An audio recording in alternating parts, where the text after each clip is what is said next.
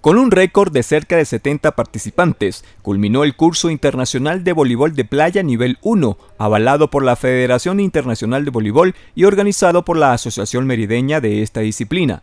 Así lo señalaron representantes de la Federación Venezolana de Voleibol, al destacar que el ponente encargado de esta actividad pedagógica, Mauro Hernández, entrenador de la selección nacional, tuvo que ser asistido por un colectivo de instructores locales. Este curso fue debidamente autorizado por la Federación Internacional, al igual que otros dos, como fueron el curso nivel 2 de entrenadores de cancha y el curso nivel 1 de iniciación. Y conjuntamente con el Comité Olímpico Internacional y ejecutado por el Comité Olímpico Venezolano, un curso nivel 1 en conjunción con Solidaridad Olímpica, en virtud de tantas solicitudes para hacer la capacitación en sus primeros inicios.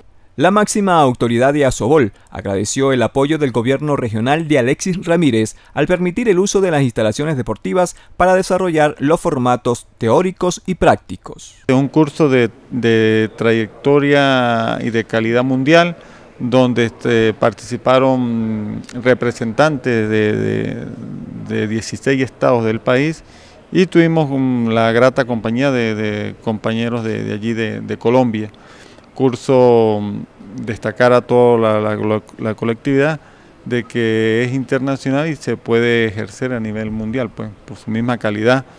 Tuvimos de la talla de, muchachos de la, de la selección de Venezuela, tanto en cancha como en playa. Y bueno, nuestros merideños allí tuvieron, hicieron acto de presencia. Eh, formando, creemos mucho en la formación, allí están los resultados. El dirigente deportivo señaló que la ciudad de Mérida, con el respaldo de las autoridades gubernamentales, seguirá como escenario de eventos nacionales e internacionales de índole formativo y competitivo.